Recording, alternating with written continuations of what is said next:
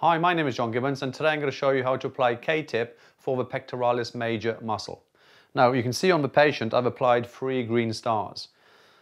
The first star is the insertion point on the lateral part of the bicipital groove and then we've got the sternal fibres and the clavicular fibres here. So it does depend, I'm just going to tape all the sort of areas if you like but you would have to modify it depending on your patient. And obviously for women, for obvious reasons, you will have to naturally adapt it as well. For a woman, I suggest they place their hand over the top of the chest area here, and then the patient can apply a little bit of stretch.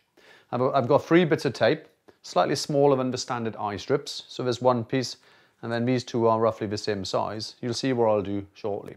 Now, I'm going to bring the arm over and just let the arm rest on me. So we're into like a, like a pre-stretch position. I'm going to use the slightly longer one first, and then this is going to be onto the clavicular fibers. And then I'm going to peel it. You can, if you wanted to peel it back and hold it, and then apply that towards the sternal body over here. Apply. Now with this one, I, it varies sometimes. I'd probably suggest around 25 to 50% stretch. So I'm going to just lock it down and just tension it and then apply that towards the insertion point here and then stick that down. Then the second one, I'm going to go onto the sternal fibers.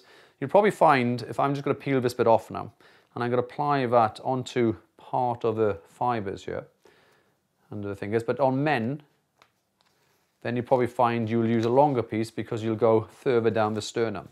So this one, again, 25 to 50% stretch, just cross that area. And again, they blend into the insertion point, like so.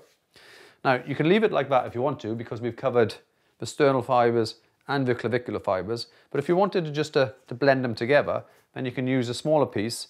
And I'm going to split this one in the center, like a plaster, and apply that directly across the insertion points here.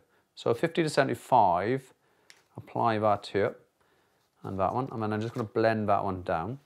And then this one here. Just be careful on this one. Doesn't want to go too far into the axilla because it could irritate. You might find you just might have to change your angle a little bit.